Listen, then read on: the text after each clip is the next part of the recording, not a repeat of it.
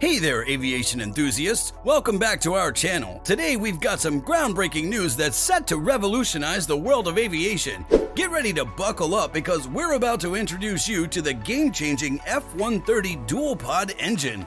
Now, this engine right here is a true game changer, folks. The Department of the Air Force awarded a $2.6 billion contract back in 2021 to Rolls Royce Corporation in Indianapolis, Indiana, for B 52H Stratofortress military derivative commercial engines, the U.S. Air Force said.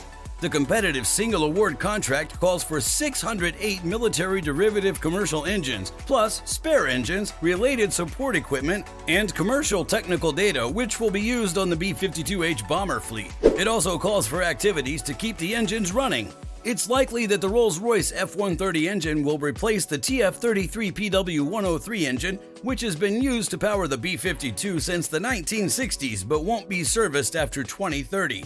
Boeing, which is the original equipment maker for the B 52, is responsible for putting the engines on the plane. By the end of 2028, the Air Force hopes to have finished all of the integration work and given out the first group of updated B 52H planes. The B 52 Commercial Engine Replacement Program, or CERP, is a complicated upgrade that not only gives the plane new engines, but also updates the flight deck, struts, and nacelles, said Brigadier General John Newberry, the Air Force Bombers Program Executive Officer. Because we're still working on virtual and digital prototyping, we can now put the new engines and any other changes we want to make to the B 52 together before we make any real changes. Because of this, we were able to build the most cost effective answer and shorten the time it takes to go from idea to production. It's expected that the B 52H will keep using the new engines that are being put on the B 52s until at least the year 2050. These new engines will also use less fuel, go farther, put out less pollution from unburned hydrocarbons, and have much lower upkeep costs. Major General Jason Armagast, head of strategic plans, programs, and requirements at Headquarters Air Force Global Strike Command, Barksdale Air Force Base, Louisiana, said, the B 52 CERP is the most important and comprehensive upgrade to the B 52 in over 50 years. The B 52 CERP is the most important and thorough improvement to the B 52 in more than 50 years. The B 52 is the workhorse of the U.S. Bomber Force, and this will let it keep doing its important conventional and long range missions well into the 2050s. The first two fully improved B 52s are expected to be delivered by the end of 2025. At that time, they'll be tested on the ground and in the air. It's expected that the first operating B 52s with the new engines will be delivered by the end of 2028. By 2035, the whole fleet will have been upgraded. Rolls Royce North America says that the F 130 and its commercial family of engines have logged more than 27 million engine flying hours. The F 130 is a great choice for the B 52 because it's been shown to be reliable, has great cost over its whole life cycle, and has a low risk of integration. The C 37 G 550 and E 11 BACN or Battlefield Airborne Communications Node aircraft of the U.S. Air Force are both powered by a version of the Rolls Royce engine that was picked to power the famous B 52. Tom Bell, chairman and CEO of Rolls Royce North America and president Defense, said, We're proud to join the truly iconic U.S. Air Force program and provide world class American made engines that will power its missions for the next 30 years. We're proud to be part of a U.S. Air Force program that's so well known. The F 130 is a tried and true cutting edge and modern engine, and the B 52 is the perfect base for it. The manufacturer says that the F 130 is very reliable, has a high mission readiness, and needs little upkeep. After it's put on the wing, the F 130 can stay there for the rest of the B 52's expected life. Also, the engine that will be used in the F 130 will be much better at saving fuel, have a longer range, and make the plane less reliant on tanker planes. It's also important to know that the engine is ready to be put together with Rolls Royce's cutting edge digital engineering tools. Rolls Royce has said that it will build and test the F 130 engines at its plant in Indianapolis, Indiana. This comes after a $600 million investment to improve the advanced manufacturing campus in Indianapolis.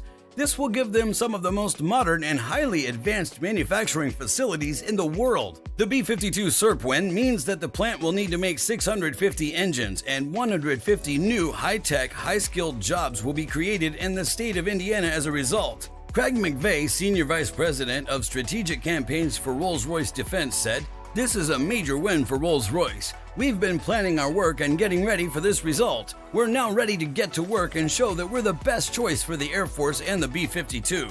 Our team is ready and willing to come through again for the brave men and women who fight for our rights and freedoms every day. Rolls-Royce has a long and successful history of giving the U.S. defense the power it needs to keep people safe. Rolls-Royce has given the U.S. Air Force thousands of engines over the course of more than seven decades. Rolls-Royce designs and makes all of the engines that power the U.S. Air Force's planes in Indianapolis, the Lockheed Martin C-130H and C-130J Hercules, the Bell Boeing CV-22 Osprey, and the Northrop Grumman RQ-4 Global Hawk all have these engines in them. Tom said it was impossible for the two of us to come to this decision by ourselves. Rolls-Royce is very thankful to our partners at the federal, state, and city levels for all the help they've given us. I appreciate everything you've done to help our bid. Today, there's a lot to be happy about for Rolls Royce, the state of Indiana, the city of Indianapolis, and the future of the B 52 program. The first part of the deal, which has no set amount and no set date for delivery, is worth $500.9 million. Under the rules of the deal, Rolls will have to send a total of 608 engines, which will be used to put 8 engines on each of the 76 B 52 planes. By September 23, 2038, the engines will be finished being made and put in place. Rolls said that the real number of power units is 650. This number counts the extras. The Air Force didn't say anything about when the process of installing the system will begin. The engines will be made at Rolls Royce plant in Indianapolis, Indiana, where the company says it's investing $600 million in an advanced manufacturing campus the company says that 150 people will need to be hired for the jobs. At first, the cost of the CERP was estimated to be as high as $10 billion, but it turned out to be much less than that. The Air Force says it's gotten four bids for the competitive contract, which needs commercial engineering data, associated support gear, spare engines, and sustainment activities, according to the Pentagon. Since 2018, GE Aviation, Pratt & Whitney, and Rolls-Royce have been competing against each other in the CERP competition, which is a three-way battle between the three of them. The U.S. Air Force insisted on a paperless system in which the rival engines would fight it out on computers. This was one of a number of digital firsts that were used in the program. Also, the service insisted on having access to the technical data so that it could compete with other businesses for future work on the program. The CERP is just one part of a larger plan to update the B-52. Other parts of the plan include putting in a brand new radar, a digital control, and more improvements to networking. The Air Force will keep using the B-52s well into the 2050s, both as a base for weapons that can be used from a distance and as a direct attack plane that can be used after the enemy's defenses have been broken or have been defeated. The Pratt & Whitney TF-33 engines that were put in the first B-52H, which was made in 1962, are still in use today. Pratt made a plan to improve the TF-33 in the early stages of the program, but the Air Force didn't accept it.